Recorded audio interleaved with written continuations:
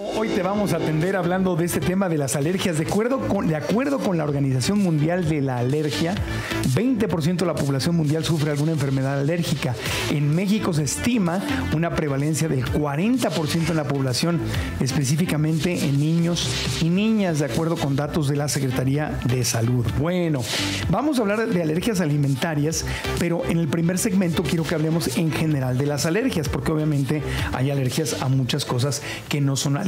Yo de niño fui uno de esos niños que padecía un montón de alergias y mis visitas al alergólogo y las, bueno, las, vacunitas que te ponían en el brazo, las pruebitas que te ponían en el brazo para ver a qué eras alérgico y luego todo el tratamiento fue, fue largo, largo, largo. Así que lo viví en mi, en mi propio cuerpecito. La doctora Mari Carmen Costa, jefa de servicio de alergología en el Hospital Español de México, está con nosotros. Bienvenida, doctora. Hola, ¿qué tal? Muchas gracias por invitarme. No, hombre, gracias a ti, a ti por estar con nosotros. Oye, justamente el, tema de hoy es, este, el de las alergias. Pero ¿por qué hay, hay gente que somos tan propensos a las alergias como en mi caso? ¿no? O sea, de niño que ya se me quitaron. Porque hay gente que tiene tantas alergias y porque hay un montón de gente como Claudia Alcaraz, nuestra productora, que dice, a mí nunca me ha dado ninguna, ninguna alergia. Nació con un ADN privilegiado, Dios la quiere más que a nosotros. ¿O, o qué onda? ¿Es normal? Lo normal es no tener alergia. Eso es lo normal. O sea, realmente lo normal es no tener alergia. La alergia es una enfermedad. Y tiene un origen multifactorial, ¿no? O sea, realmente el, el origen al 100% no lo sabemos exactamente, ¿no? O sea, ese es una incógnita, pero sabemos que hay muchos factores. Puede haber predisposición genética. Se sabe que en un entorno urbano somos más propensos a generar este alergia. ¿Por qué? ¿Vale? O sea, en la ciudad somos más propensos. Más propensos porque vivimos en un entorno mucho más contaminado. También a veces tenemos eh, un fenómeno que pasa que metemos a los niños, niñas en una burbuja y que no se ensucien, que no este, se cae el chupón al suelo y ya lo están esterilizando. El cambio, muchas veces gente que vive en un entorno rural y así pues se mancha, come de todo, están con las manos en la tierra y todo eso. Y todo eso fortalece el sistema inmune, ¿no? Se lo foguea. No es bueno cuidar a los niños tanto, o sea, tenerlos como bueno, una tampoco hay que ser cochinos, pero... Atáscate en el lodo para que se te desarrollen las defensas. Pero, pero el estar estimulando el sistema inmune es muy importante. También todo lo que sabemos ahorita de tratar y cuidar nuestra microbiota es muy importante a nivel del sistema de defensas, a nivel de estimular la inmunidad innata. Todo eso nos va a ayudar, ¿no? Oye, pero alergias como, o sea, rarísimas, ¿no? De repente alguien que tiene una alergia al aguacate y alguien tiene una alergia que sea al pescado y que sea a los lácteos y este luego gente que ni, que ni, sabe este y, se come algo y de repente se le hinchan los labios como Angelina Jolie anda ahí con la trompa hinchada a mí me pasó ¿te acuerdas de la película esta de Stitch? Sí. ¿Te acuerdas del que. ¿Cómo, se llama? Hitch, ¿no? La Hitch, perdón, perdón. Stitch es, Stitch es la de la caricatura de Disney. No, Hitch, gracias por corregirme. Sí, sí, sí, que se le hinchan los, los, los ojos, ¿no? Que es alérgico a no sé qué. A mí me pasó así. Una vez estaba saliendo yo con una chica que tiene un gato y el gato y yo éramos uno mismo. Y pues me invitó a dormir, el gato, no ella, ¿no? Y yo me quedé a dormir ahí y amanecí. Se me hinchó la nariz, pero por dentro. Se me tapó un oído, acabé en cirugía. O sea, es muy, es muy delicado cuando tienes una alergia y no sabes que tienes una alergia. Lo que pasa es que también ahí es una de las preguntas del millón, ¿no? O sea, no normalmente no, no, nacemos alérgicos, te vas, la vas generando, vas generando diferentes anticuerpos y no te das cuenta cuando los generas, ¿no? ¿Por qué una persona a los alimentos, otra a los medicamentos, otra a los perros, a los gatos? Eso exactamente no lo sabemos, ¿no? Lo que sabemos es que de repente empiezas a tener síntomas. O sea, no naces con las alergias. No, empiezas a desarrollar los síntomas. Ni se heredan las alergias. Tienes una predisposición genética, sí. Ah. Tienes una predisposición genética y sí hay eh, varios genes descritos para, para varias este, enfermedades, digámoslos a grandes rasgos, ¿no? Pero realmente exacto, ¿por qué? ¿Sí? O cómo podemos prevenir concretamente. No hay forma preventiva, o sea, no hay cómo prevenir las alergias ni de alimentos, ni medicamentos, ni de agroalergenos. Vives tu vida, es un riesgo que todos corremos, ¿sí? Y de repente, pues un porcentaje de la población va a generar una alergia. ¿No? Y entonces empiezas a tener síntomas. Por ejemplo, en este caso, como tú, con el gato.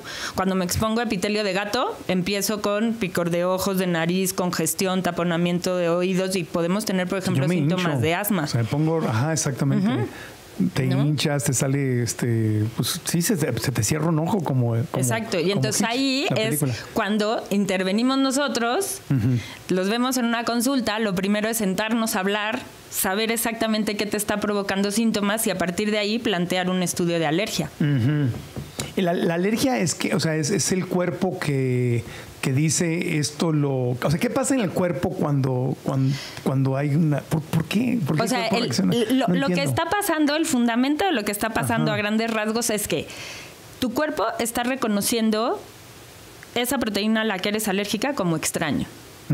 ¿Vale? Y entonces, cada vez que te enfrentas a ella, generas síntomas que pueden ir de congestión nasal, estornudos, este moco, asma, urticaria, este a veces exacerbaciones de dermatitis atópica, no sé, diferentes diferentes síntomas, ¿ok? Y lo que pasa es que es eso, se está reconociendo esa, esa proteína como extraña.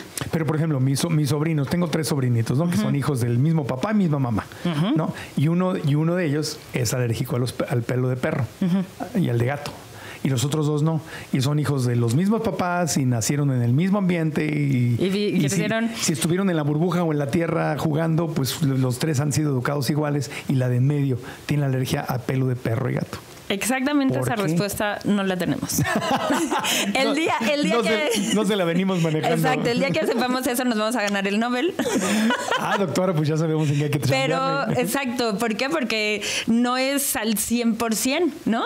Pero lo que sí es bueno que puede tener un diagnóstico y puede tener un tratamiento. Ok, ¿y cómo se diagnostica? Porque de repente yo te platicaba antes de entrar al aire y que casi le da el patatús aquí a la doctora, que una vez con un doctor en Arizona, estábamos en un taller con Robert Kiyosaki y él trajo un doctor que dijo, miren, las células deben verse así, las puso en la pantalla, células sanas así. Pues era un médico, doctora, tú me haces caritas, pero pues yo como, yo que no soy médico, pues digo, ah, y me lo puso ahí y yo, Kiyosaki en el taller, ¿no? Y dice, las células se deben ver así. Y luego nos mostró unas células enfermas y unas células sanas. Y pues todos en, los, los, cortes íbamos y nos, nos, picaban el dedo y nos ponían ahí este, las células en un vidrio y con el microscopio las veían, le tomaban un, un shot ahí y nos daban el, y, luego ya íbamos a tratamiento y a mí me dijeron que yo tenía eh, hace 15 años, ya, ya, no, ya no como regularmente huevo, pero en ese tiempo lo comía todos los días y me dijeron que era alérgico al huevo, que me estaba este, atacando mi sistema inmunológico y que me iba a dar cansancio crónico, que si no me sentía muy cansado, yo sí, sí, y luego ya me quitaron el huevo. Ok. Y mi vida floreció. Se está riendo la doctora del doctor aquel. A ver. No, no, a ver. Lo que ¿Fue, ¿Fue, charlatanería eso, doctora? Normalmente, así no. O sea, normalmente no es como se suelen o están avalados los, métodos diagnósticos para alergias. Luego me hizo un examen de, de, sangre y ahí salieron las alergias. Entonces, lo que tenemos que hacer, lo primero, el protocolo como va, es la historia qué es lo que pasa, ¿no? ¿Cuándo tiene síntomas? ¿Cuándo no?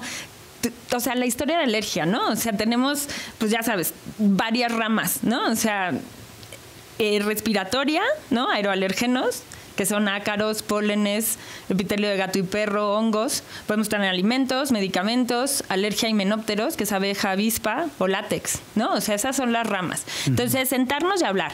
Y a partir de la historia que me está diciendo, planteamos una, unas pruebas que pueden ser cutáneas, ¿sí? El prick test, ¿no? que se hace en piel, se pone el extracto alergénico y se, y se pica y si es positivo va a salir un abón, una roncha y de esa forma tenemos una prueba positiva.